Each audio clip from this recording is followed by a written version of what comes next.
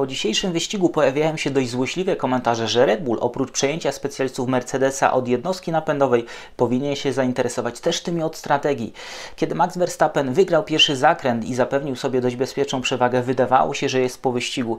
Wydawało się, bo Mercedes kolejny raz pokazał, że ma zespół. Ma zespół, który potrafi perfekcyjnie liczyć. Red Bull z kolei się przeliczył. Więcej na temat tego wyścigu, który za nami już za chwilę, dlatego tradycyjnie polecam nie oddalać się od odbiorników, zostańcie ze mną.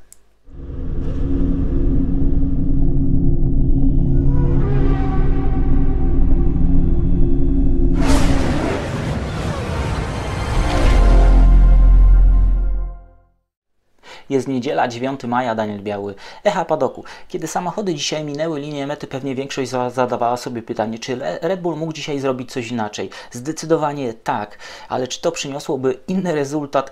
Raczej mało prawdopodobne. Lewis Hamilton zapisuje na swoim koncie kolejne niezwykłe zwycięstwa, natomiast tym razem trzeba uczciwie przyznać, że było to zwycięstwo całego zespołu. Oprócz dobrego tempa, Lewis Hamilton, a w zasadzie samochód Mercedesa pokazał dzisiaj bardzo dobrą jazdę w brudnym powietrzu, co było problemem konstrukcji Mercedesa. W12 okazał się też bardzo delikatny, bardzo łagodny dla opon.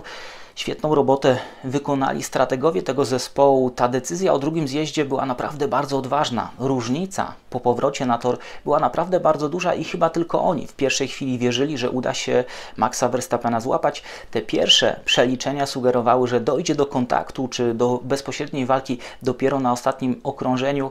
Wyścig pokazał, że ten cios Lewis Hamilton zadał zdecydowanie wcześniej. Można się sprzeczać, kto miał dzisiaj więcej takiego surowego tempa, ale zdecydowanie więcej po swojej stronie miał dzisiaj Lewis Hamilton i dlatego wygrywał. Lewis Hamilton oprócz tego, że pokazał świetną jazdę, szczególnie w brudnym powietrzu, kiedy tego docisku jest mniej. Wykorzystał też ten czas, żeby przyjrzeć się dokładnie tylnemu skrzydłu w samochodzie Maxa Verstappena i stwierdził po wyścigu, że to skrzydło zachowuje się dość dziwnie, ma tendencję do uginania się. To na pewno będzie ciekawy temat w kolejnych dniach. Toto Wolf z kolei bardzo chwalił ten zespół osób, które były odpowiedzialne za strategię w tym wyścigu, szczególnie, że niedługo skład tego zespołu mocno się zmieni, odejdzie jedna ze specjalistek, ale nie, to nie jest kuszenie Red Bulla, to jest po prostu urlop macierzyński. E, warto też zwrócić uwagę na ciekawy element tego wyścigu. Po raz pierwszy słyszeliśmy bezpośrednią komunikację, komunikację szefa zespołu z dyrektorem wyścigu, z FIA. Myślę, że to stanie się takim stałym elementem rywalizacji. Te komunikaty na pewno rozszerzą nam sposób pracy zespołu, ale też sposób e, reakcji ze strony FIA. Verstappen w tym wyścigu zrobił wszystko, co mógł. Odważnie, ale czysto poradził sobie z Hamiltonem w pierwszym zakręcie szeroko, wystawił łokcie. Tego właśnie oczekiwałem. Mały błąd popełnił przy zjeździe do alei serwisowej. Tutaj po wyścigu dowiedzieliśmy się, że Max zjechał niepytany czy nieproszony przez zespół, co trochę pokrzyżowało e, plany, zmusiło e, zespół mechaników do takiej nerwowej pracy. Zamiast dwóch były 4 sekundy, no ale to ostatecznie nie miało dużego wpływu na wynik tej rywalizacji. Dlaczego Red Bull nie zareagował na ten zjazd Hamiltona? No, chodziło o bronienie, o obronę pozycji na torze. Tak przynajmniej bardzo słusznie mówił po wyścigu e, Christian Horner. E, zjazd, okrążenie po Hamiltonie wydawał się dobrą opcją, szczególnie, że Max zaoszczędził ten jeden zestaw miękkich opon. Po co oszczędzać, kiedy się z tego nie korzysta? No z drugiej strony, gdyby zdecydowali się na ten zjazd i przegraliby ten wyścig z Mercedesem, co było bardzo prawdopodobne, Mercedes naprawdę był dzisiaj w świetnej dyspozycji, to pewnie też byśmy krytykowali zespół. Mercedes po prostu dzisiaj miał zbyt dużo argumentów, żeby Red Bull sobie z nimi poradził. Tych argumentów z kolei zabrakło po stronie Valtteriego Bottasa mm, i zamiast e, walki o zwycięstwo, zamiast walki o te najwyższe cele, Valtteri Bottas e, no, musiał zmagać się z Charlesem Leclerciem. To właśnie ta pozycja stracona na starcie spowodowała, że potem musiał mocno gonić. Argumentów zabrakło też w dyskusji z Bottasem, bo ten nie bardzo chciał oddać pozycję na torze. Później tłumaczył się przede wszystkim liczy się mój wyścig. Ja nie mogę tak po prostu oddawać pozycji, kiedy tylko zespół e, sobie tego zażyczy, choć z drugiej strony, patrząc na to wszystko, też nie robił aż tak dużych problemów Hamiltonowi. Kiedy Hamilton był blisko, Bottas raczej już nie protestował na torze. Ten interes e, o który Bottas tak mocno walczy, został naruszony już na starcie, potem było trudno, o czym powiedziałem, ale tutaj w obronę trzeba wziąć Walteriego Bottasa, bo zadziałał pewien efekt domina. Verstappen mocno zaatakował Hamiltona. Hamilton zdjął nogę z gazu, cofnął się. Bottas na tym mocno ucierpiał. Leclerc dzięki temu napędził się i wykonał ten manewr. E, tempo było w samochodzie, o czym mówi sam Valtteri Bottas, ale skończyło się jak zwykle. Obawy Leclerca, który tak na początku świetnie sobie e, poczynał, potem również poczynał sobie całkiem nieźle, dotyczące opon nie potwierdziły się. Z jednej strony yy, Ferrari no, nadal jest tam, gdzie e, było e, w tym sezonie. Nie ma jakiegoś dużego przełamania, ale na tle tych rywali, z którymi do tej pory Ferrari sobie nie raziło, samochód właśnie w rękach Leclerca wyglądał rewelacyjnie. Utrzymać Bottasa za plecami się nie udało, ale poradził sobie z Perezem. Perez nie był w stanie mu zagrozić, więc to na plus. Sainz kończy wyścig z mieszanymi uczuciami. Z jednej strony w końcu dogadał się z tym samochodem, to co mówił wczoraj, w końcu czuje się tu dość komfortowo. Z drugiej strony ten słaby start pozbawił go możliwości walki o coś więcej. Czego zabrakło według Sainza? Przede wszystkim prędkości na prostych, wtedy byłoby łatwiej radzić sobie z rywalami. Z postępu, jaki wykonało Ferrari, zadowolony jest bardzo Mattia Binotto.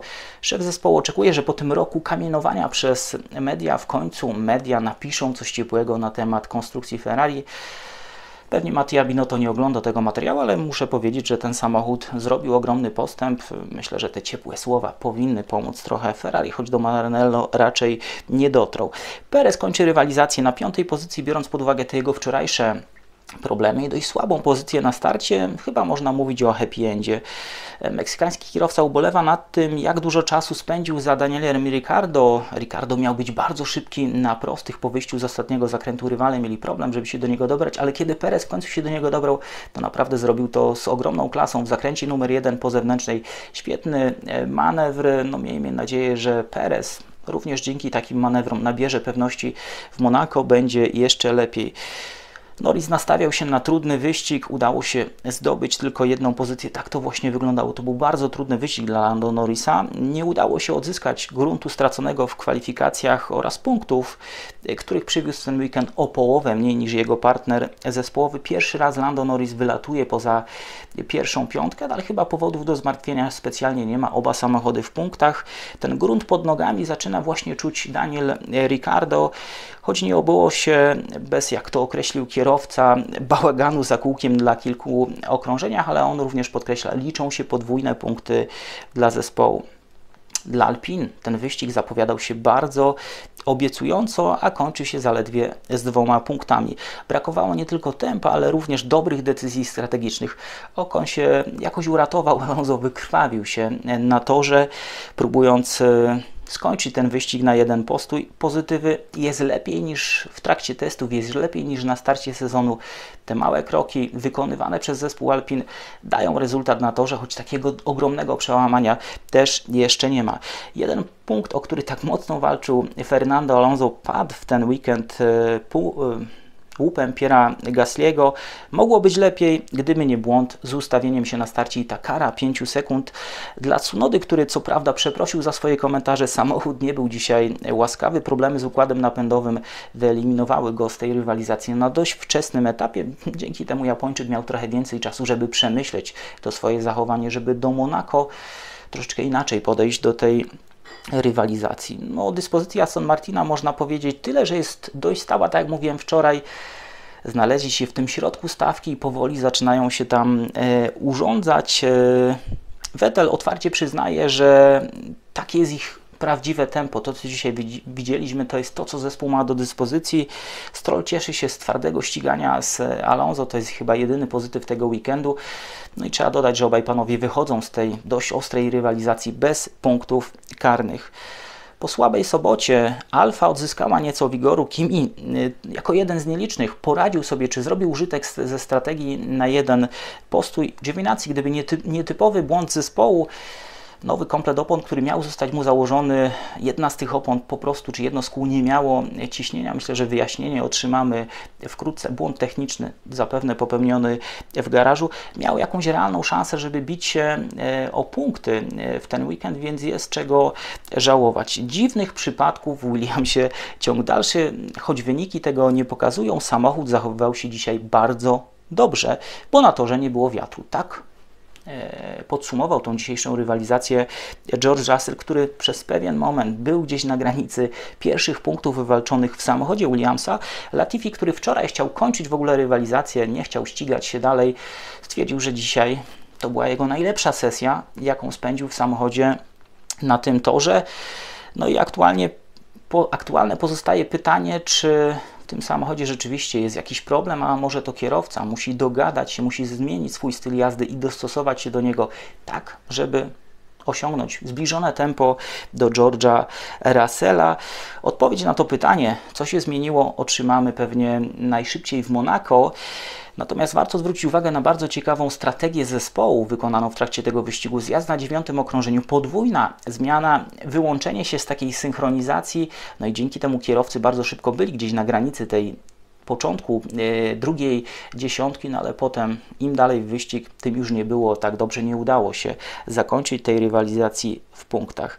Na końcu dwa samochody Hasa w jednym kawałku, co warto podkreślić, i to jest chyba dobra wiadomość, w jednym kawałku też jest mechanik, który obsługuje przedni podnośnik, którego Mick Schumacher dzisiaj trochę poczęstował przednim skrzydłem. Na szczęście obyło się właśnie bez żadnych e, niepotrzebnych konsekwencji, bez żadnych uszkodzeń. Kolejna okazja ten wyścig to była kolejna okazja dla tych młodych chłopaków, żeby zebrać cenne doświadczenie, żeby zebrać kilometry. To jest zadanie, jakie stoi przed nimi w tym sezonie, przynajmniej na tym etapie, ale myślę, że do końca nie ma nadziei na to, że będzie szansa walki o punkty, że będzie szansa na taką wyrównaną walkę przez cały dystans wyścigu z rywalami, walkę koło w koło. Weekend, myślę, że jeżeli chodzi o Barcelonę, nie rozczarował, było ciekawie, było dzisiaj trochę takich strategicznych e, szachów. E, Red Bull przegrywa bitwę, ale na pewno nie przegrywa e, wojny. Red Bull będzie szukał swojej szansy w Monako, bo to powinien być ich teren, to powinno być ich terytorium. Tyle na dzisiaj. Myślę, że ten weekend przyniesie nam jeszcze więcej ciekawych informacji, które postaram się Wam przekazać, być może już jutro. Tyle na dzisiaj, trzymajcie się i do zobaczenia.